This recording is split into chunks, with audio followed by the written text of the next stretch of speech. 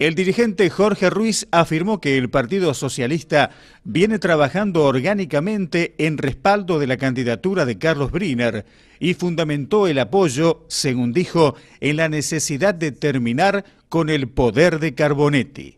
Nosotros tuvimos algunas experiencias con, enfrentando al poder político. En primera instancia fue cuando las familias bolivianas iban a ser eh, desalojadas de de los terrenos que ahí nos enteramos nosotros que ya no eran más de Ibarra o estaban a punto de, perderlos.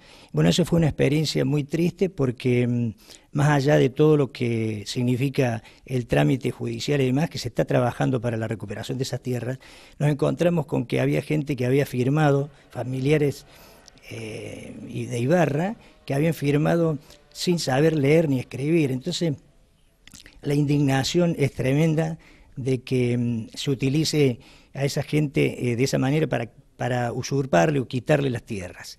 Después se sumó la denuncia que hicimos con la pasarela, que tampoco tuvo éxito, porque mm, eh, ya lleva del 2010, llevan tres años y no tuvimos respuesta.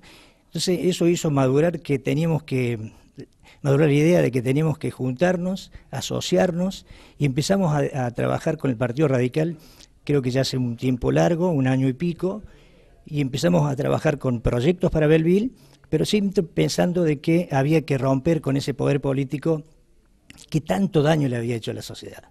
Es decir, no solo a la sociedad de Belville, yo creo que hasta el mismo Partido Justicialista hay jóvenes que perdieron la oportunidad de ir a una interna y, ser votados por la militancia y no elegidos a dedo como lo hizo Carbonetti.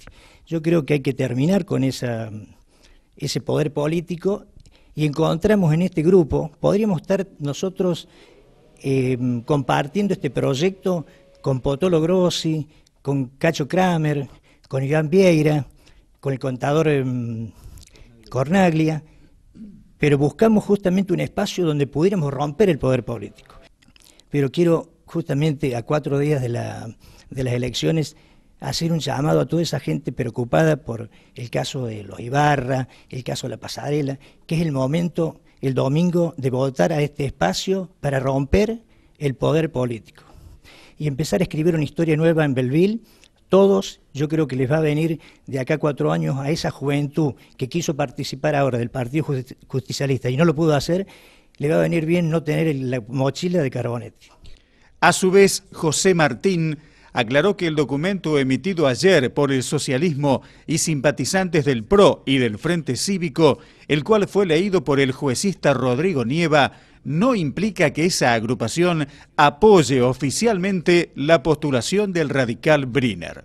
Para que el Frente Cívico apoyara orgánicamente al radicalismo, tuvo la oportunidad en su momento y que estuvimos hablando para realizar una, eh, una alianza, incluso un preacuerdo, pero que no se cumplió por lo que orgánicamente el Frente Cívico no se presenta y eh, tenemos órdenes directamente del presidente del partido de aclarar cada vez que pasan estas situaciones en la que se invoca el Frente Cívico. Porque de alguna manera se está tratando de representar a lo que nosotros venimos pregonando hace tiempo y hay mucha gente que está participando en otros espacios libremente porque no, no hay ningún acuerdo del que nosotros hemos pactado con otras fuerzas.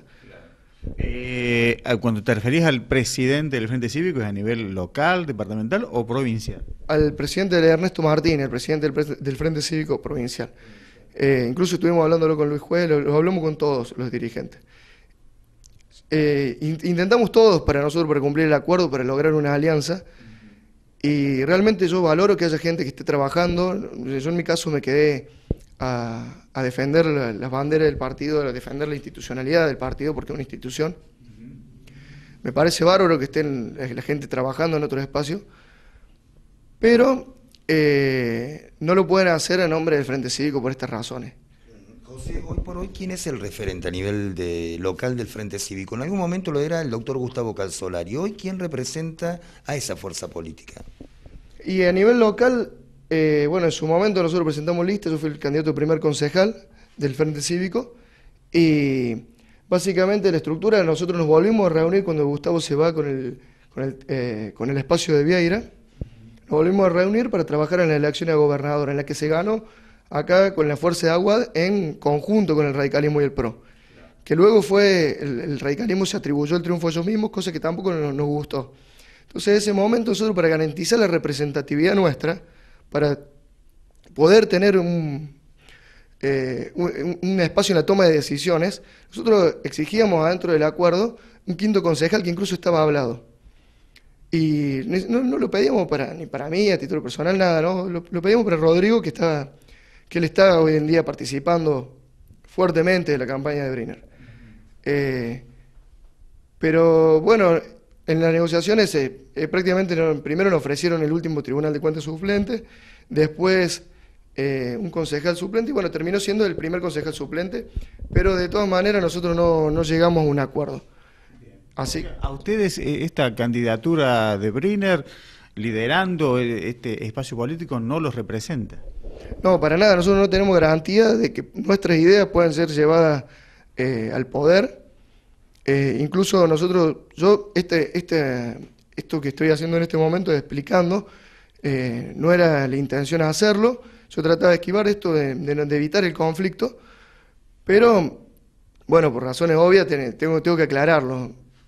A todo esto, Daniel Tosen, candidato a segundo concejal de la lista celeste y blanco, lamentó que en su momento se hayan interpuesto trabas a la nómina presentada ante la Junta Electoral Municipal y criticó lo que denominó desembarco en nuestra ciudad de las principales figuras de Unión por Córdoba para apoyar a Abraham Galo utilizando para ello fondos oficiales. Sí, la verdad que como balance ha sido muy positivo. El objetivo que nos propusimos hace más de un año eh, lo estamos logrando. Llegar a esta instancia es muy valorable y fundamentalmente recordar que también hemos tenido que pasar por algunas dificultades e inconvenientes que, este, considerábamos que eran de otras épocas. Pero bueno, este, recordar que hasta hace poco tiempo pretendían evitar nuestra participación eh, afortunadamente y por el buen criterio de la Junta Electoral estamos en competencia, estamos este, siendo una de las fuerzas de mayor consideración en el electorado local. Y esto bueno llama a la reflexión, es la oportunidad para decirle a los belvillenses que lo que está en juego son los destinos de la ciudad, una ciudad que está en crisis, que necesita del manejo de la idoneidad de la experiencia política, la combinación entre la política y la actividad privada, y que este, las crisis no se manejan con discursos fáciles y promesas, sino con hechos contundentes, con acciones, y también a la par de administrar las crisis, a la ciudad hay que pensarla.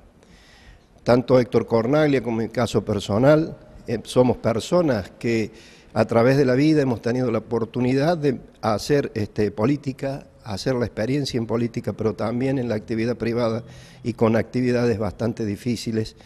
Y también en alguna oportunidad hemos pensado las dificultades que con las que nos enfrentábamos al día siguiente. Esto este, es para que pensemos qué intendente, qué perfil de intendente queremos para esta, para, para esta elección y para los futuros cuatro años teniendo en cuenta también de que este, en el día de hoy, siendo cierre de campaña, el desembarco del oficialismo con absolutamente todo el aparato que dispone, que lo pagamos todos, este, y que no creo que sea justo que eso sea así, aunque para algunos pudiera ser las reglas del juego, yo creo que no son reglas sanas, hay que cambiarlas.